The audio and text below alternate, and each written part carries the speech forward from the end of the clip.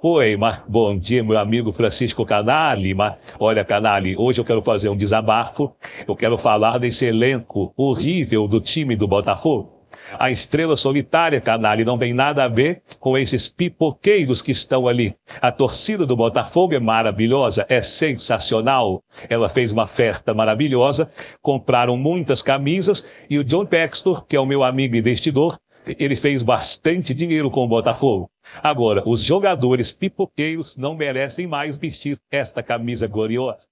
Olha, canalha, eu falei com o John Texto e se ele não mudar totalmente o elenco do Botafogo para o ano que vem, eu, Silvio Santos, comprarei o Botafogo e sim transformarei o glorioso no Real Madrid brasileiro. Ah, isso é bom, não é?